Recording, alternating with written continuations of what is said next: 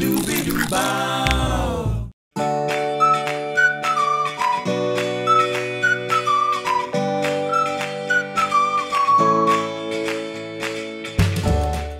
começando mais um programa super chocolatudo e hoje eu vou te ensinar a fazer um biscoitinho Twix que é muito fácil de fazer e é maravilhoso. Para fazer meu caramelo eu vou precisar ferver uma xícara de creme de leite e assim que ela ferver você separa e deixa de lado. Na sequência, em uma panela bem alta você coloca duas xícaras de açúcar com duas colheres de sopa de glucose ou de mel e deixa em fogo baixo até que essa misturinha fique numa cor âmbar.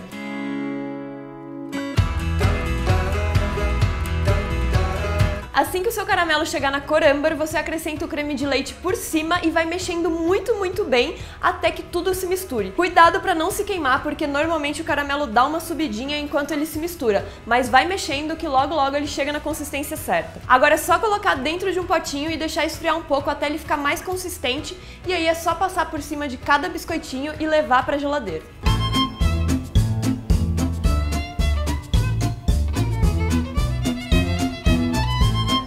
Agora é a hora da parte mais divertida, a gente vai temperar o chocolate amargo. Para isso você vai derreter 280 gramas de chocolate amargo de boa qualidade até que ele chegue entre 45 e 50 graus. Depois é só jogar em cima de uma pedra de mármore e deixar essa temperatura baixar para 27 graus.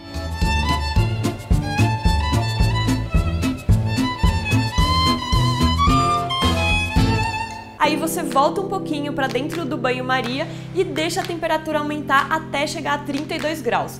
Tá pronto, agora é só usar. Eu aqui coloquei dentro de um saquinho de confeitar e aí é só colocar um pouquinho do chocolate por cima de cada caramelo e levar para a geladeira por 3 minutos. E tá pronto o biscoito Twix, espero que vocês tenham gostado. Nos vemos na próxima receita. Beijo, tchau!